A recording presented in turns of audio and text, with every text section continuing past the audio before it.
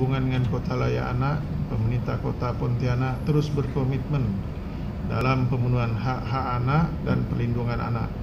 Komitmen pemerintah Kota Pontianak mendapat untuk mendapat apresiasi dari Kementerian Pemberdayaan Perempuan dan Perlindungan Anak dengan mendapatkan penghargaan yaitu dua kali kategori Pratama pada tahun 2011 dan 2013. Kemudian Kota Pontianak juga tiga kali memperoleh kategori Madya pada tahun 2014, 2015 dan 2016. Pemerintah Kota Pontianak tetap berupaya memberi dan memenuhi apa yang menjadi hak-hak anak dengan harapan untuk dapat menjadikan Pontianak sebagai kota layak anak dan benar terimplementasi dengan baik dengan tetap memperhatikan dua variabel yang harus dipenuhi sesuai dengan peraturan Menteri PPPA yakni kelembagaan dan pemenuhan hak-hak anak.